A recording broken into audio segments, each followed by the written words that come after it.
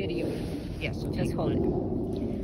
Hi, I'm Lynette Herrera, and this is EQU 198-30 Stable Management. And today we will be showing you how to bridle a horse. Here's the bridle.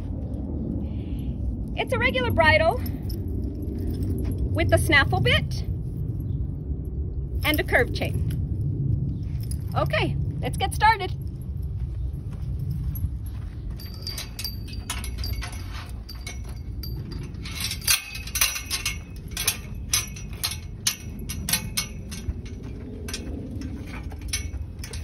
Okay, so you've got your bridle.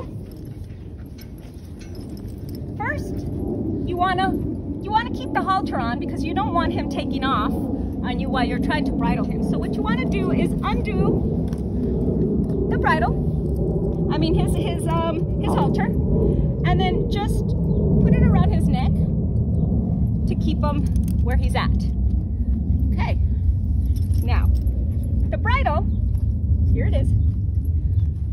You want to put your hand over your horse's head just like this.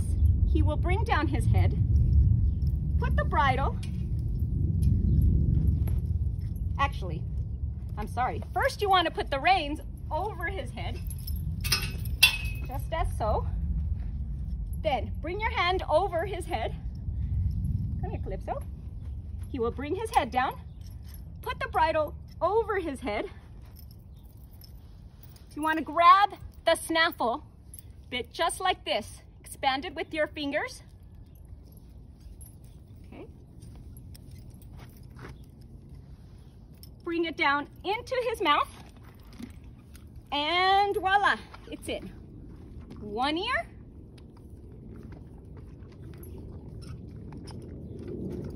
Two ears. There you go. Now, Judy, if you want to walk on over here. Now, it's in. In his mouth. Now, you want to secure the strap. The chin strap. And you want to keep, let's say about four inches, so it's not too tight. Now you can undo the halter Make sure it's not caught on anything. He's all bridled. Happy bridling.